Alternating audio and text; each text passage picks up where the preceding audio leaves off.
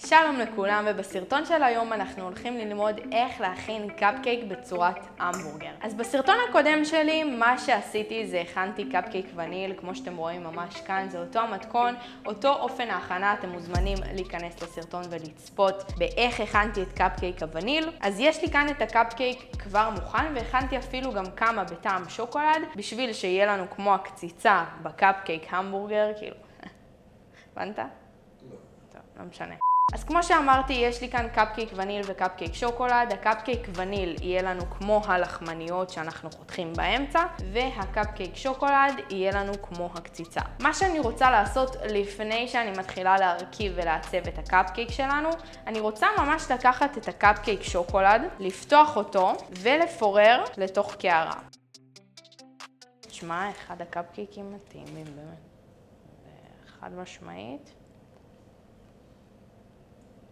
כפי שאפשר לראות זה ממש מתפורר לבד, ושימו לב עד כמה הקאפקייק יפה מבפנים. אחרי שפוררנו את הקאפקייק שוקולד, אני רוצה לשים כפפה, כי זה הולך להיות קצת מלכלך. קצת, לא הרבה. אני רוצה להפוך את זה לגושים הרבה יותר קטנים, כמה שאני יכולה, אבל זה לא באמת נשאר ככה, זה מתפורר.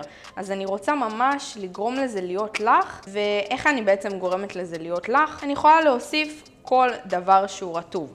זאת אומרת, זה יכול להיות שמנת מתוקה קצת, זה יכול להיות קצת חלב, זה יכול להיות שוקולד מומס, וזה יכול להיות קצפת, זה יכול להיות קרם חמאה. באמת מה שיש לכם הופך את זה לכמו עיסה דביקה כזאת, שאפשר ממש לפ... כמו בצק, כמו פשוט בצק. אז אחרי איזה דקה שאני עושה את התנועה הזאת, אפשר לראות שהכל פה מתפורר כמו שצריך. יש לי כאן קרם חמאה שאני מוסיפה.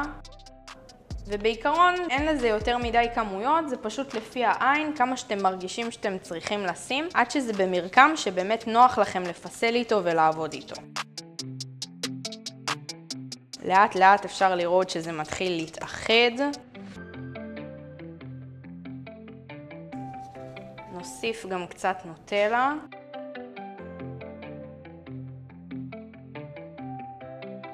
ברגע שאפשר להפוך ממש את ה cupcakes שוקולד שלפני רגע היה לנו לגוש, אתם יודעים שסיימתם ויש לנו את המרקם הרצוי. אז אחרי שהכנו את התערובת שלנו לקציצות, יש לי כאן בצק סוכר בצבע סוג של צהוב מעורבב עם קצת כתום. זה בעצם הולך להיות לנו הגבינה, ואל תכתבו לי בתגובות זה לא כשר, זה לא כשר, חברים, זה קינוח, זה חלבי, אל תעשו את זה. אני מרדדת את הבצק סוכר לעובי שמזכיר גבינה.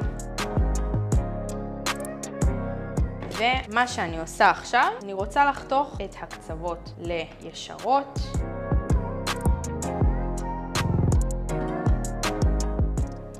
נניח והלחמניה ככה, אני רוצה לחתוך ריבועים.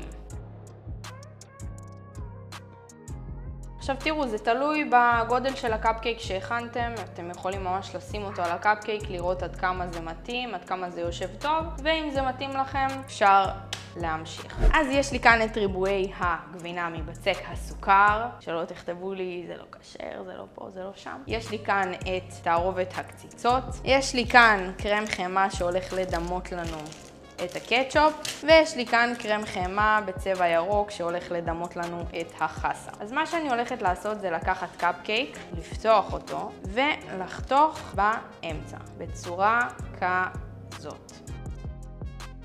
וזה מה שאני הולכת לעשות בכולם.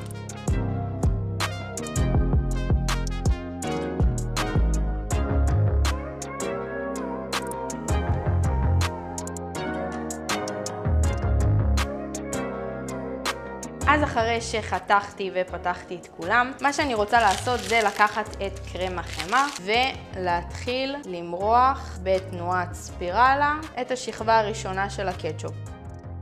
השכבה הזאת לא חובה שיראו, זה נטו להדביק את הקציצה שלנו.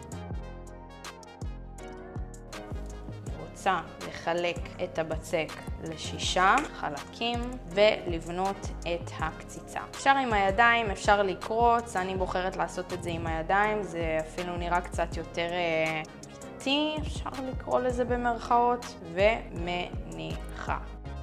וככה אני עושה על כל הקאפקייק. אז ברגע שהקציצות שלנו מוכנות, אני רוצה לעשות עוד שכבה קטנה של קרם, ממש זילוף, זילוף אקראי. הנה לב, לב ולב. ועכשיו אני לוקחת חתיכת גבינה ומניחה. גבינה זה לא קשה. אתה יודע מה? בוא נכין אחד כשר, בסדר? בוא נכין אחד כשר בשבילך. יש. כפי שאפשר לראות, זה לא כל כך נראה שזה נמס כמו גבינה בהמבורגר. אז הכינותי מראש ברנר, ואני הולכת לשרוף ממש קצת את הגבינה, שיראו אותה יעני נוזלת. ועכשיו, אחרי שיש לנו את ההמבורגרים חצי שלמים, ויש לי כאן אחד בלי גבינה, אני רוצה לעשות חסה. עכשיו, איך אני עושה חסה? יש לי כאן צנתר, זה הזילוף שלו. מה שאני רוצה לעשות זה לזלף אותה בצורה כזאת. קדימה, אחורה, קדימה, אחורה, הכי קל שיש. לא חייב מדויק, פשוט שיראה חסתי. הופה, עכשיו תתכונן. אתה מוכן? וואו. לא, לא, רגע. חסר לי אדום. אה? אה? יפה או לא? אוקיי, שוב, עושה זילוף חסתי, ולפני שאני הולכת לשים אותו על ההמבורגר, מה שאני רוצה לעשות, לקחת עוד קצת מהקטשופ ולזלף ולעשות אפקט כאילו הוא נוזל. ואני מאחדת. ואחרי שהרכבנו את ההמבורגרים שלנו, כל מה שנשאר זה לפזר סומסום. אני בתכלס אוהבת סומסום רגיל, מי שרוצה יכול כזה לעשות עיגולים קטנים מבצק סוכר, אבל סומסום רגיל גם לגמרי אופציה. זה נראה הרבה יותר טוב וזה גם לא כזה משפיע על הטעם.